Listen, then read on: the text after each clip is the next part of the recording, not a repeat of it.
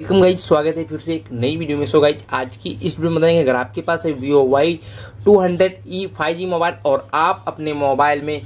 दोस्तों restart option को on करना चाहते हो या अपने मोबाइल को रीस्टार्ट करना चाहते हो तो कैसे कर पाओगे? तो रीस्टार्ट करने के लिए अपने मोबाइल को, अपने मोबाइल की सेटिंग्स को ओपन कीजिएगा। सेटिंग्स को ओपन करते हैं तो कुछ इस तरह से आपके मोबाइल में सो जाएगा।